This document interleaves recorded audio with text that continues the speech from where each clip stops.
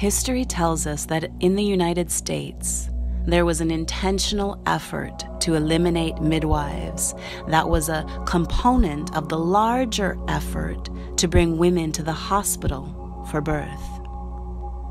The medical community saw that birth could be lucrative and devised a plan to corner the market on birth.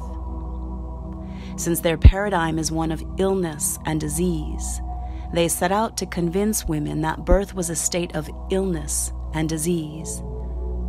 They knew that fear creates a demand. They used fear to their advantage and still do. They had a plan.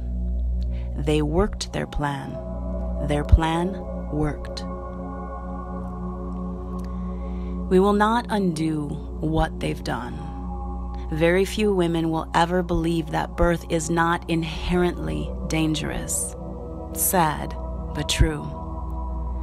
Believing that birth is dangerous and assuming that someone else is more qualified to take the responsibility is the current cultural assumption and downfall. As a society, we have a proclivity not only to be easily scared and discouraged, but to look for a rescuer. Would we expect anything else from a society that is moving further and further away from personal responsibility? Believe me, the truth that birth is safe and that mothers are responsible for every decision concerning their births and their babies is a hard sell to most women and impossible to sell to the system.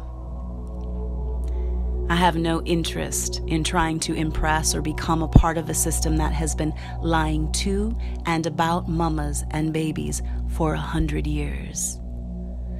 Mamas owned birth before hospitals and doctors jumped on the opportunity to usurp their authority, and they will own birth long after the system has collapsed.